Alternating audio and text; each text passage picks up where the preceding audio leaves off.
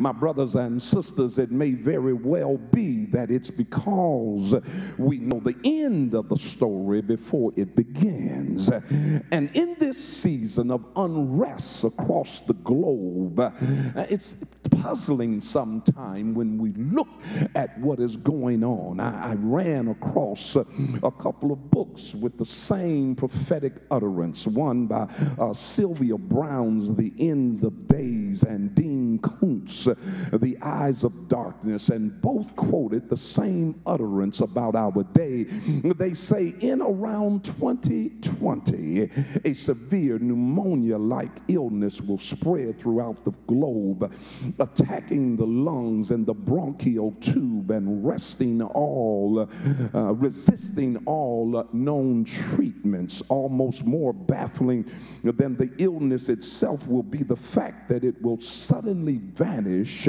as quickly as it arrives, attack again in 10 years later, and then disappear completely. However, there is a level of confidence that the saints can have because of our relationship with God. Because no matter what happens, we know God and we know that our relationships gives us security in an insecure world.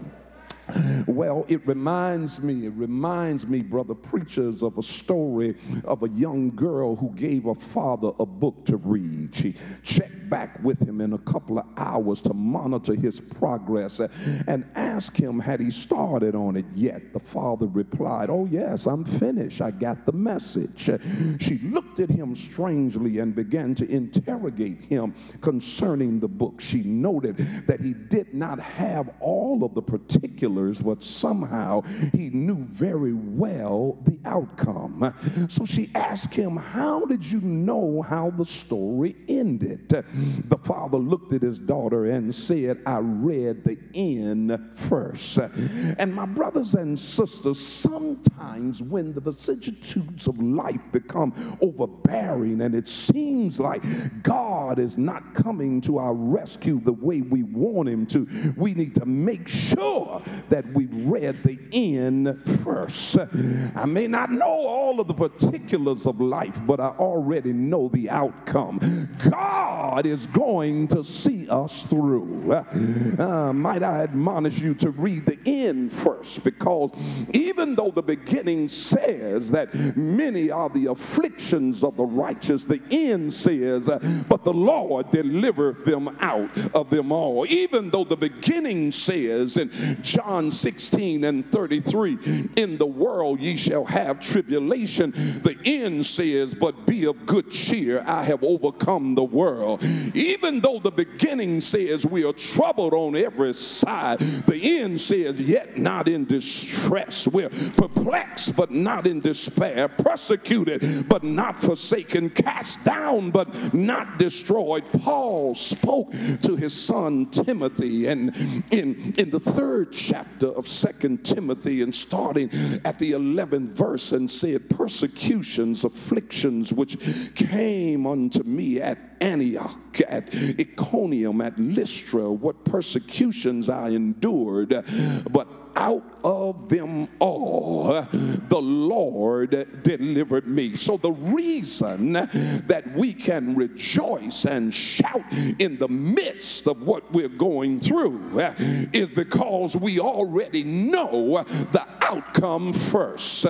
Well, my brothers and sisters, look again at the affirmations with which it opens. This particular psalm, the Lord is my light and my salvation. The Lord is the strength of my life the affirmation seemed to answer the question.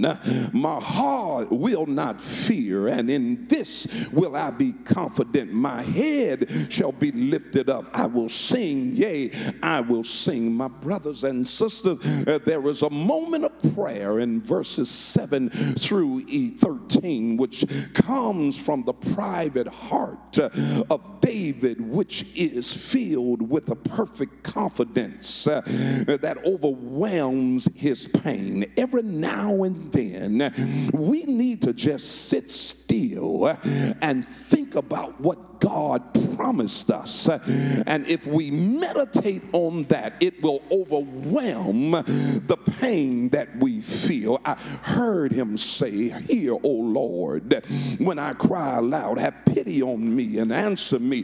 When you said, Seek my face, my heart said to you, O Lord, I will seek your face. Do not hide your face from me. Do not angrily turn me away. You have been my help. Do not leave me. Do not abandon me, O God, my Savior.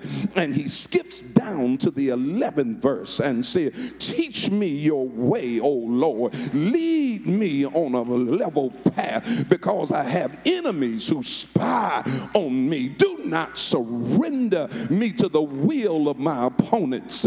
False witnesses have risen against me. They breathe out violence. And finally, there is that stanza of the psalm which causes it to crescendo and, uh, and all who hear it rise with it. It says, Wait on the Lord. Uh, help me, Holy Ghost. Wait on the Lord and be of good courage, and he shall, somebody say, shall, he shall strengthen thine heart. Let me remind somebody today who is tripping. Let me remind somebody who is despondent. Let me remind somebody who is biting their fingernails and pulling their hair out and forming an ulcer. Let me remind you to wait on the Lord because the Lord will come through. Do me a favor, help me preach to somebody and tell them God is coming through. This is Bishop J. Louis Felton thanking you for joining us for the Mount Airy Kingdom Worship Experience.